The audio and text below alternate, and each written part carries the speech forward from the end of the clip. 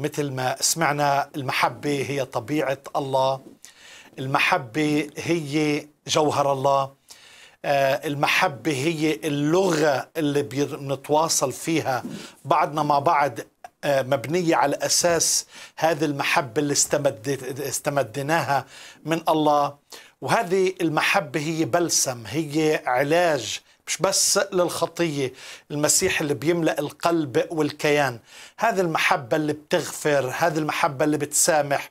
هذه المحبة التي لا تقبح ولا تظن السوء ولا تطلب ما لنفسها لكن تتشبه تتمثل بالمسيح اللي قال عن نفسه ليس لأحد حب أعظم من هذا أن يضع أحد نفسه من أجل أحبائه.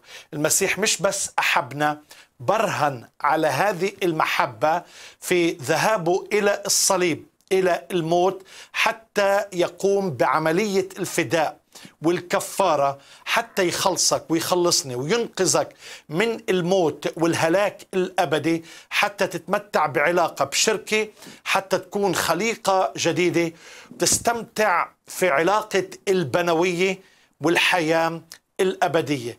من أجل هذا الصرخ بتعجب الرسول يوحنا قال انظروا أية محبة أعطانا الآب حتى ندعى أولاد الله. بصلي من كل قلبي. إذا أنت عندك نقص في المحبة أو فقر في هذه المحبة محبة المسيح تملأ قلبك وكيانك. وإذا أنت مش قادر تسامح تغفر في هذا اليوم. وهذه المحبة تلمس كل نواحي حياتك مثل خيوط الشمس الذهبية. الرب يباركك وإلى اللقاء والرب يكون معك.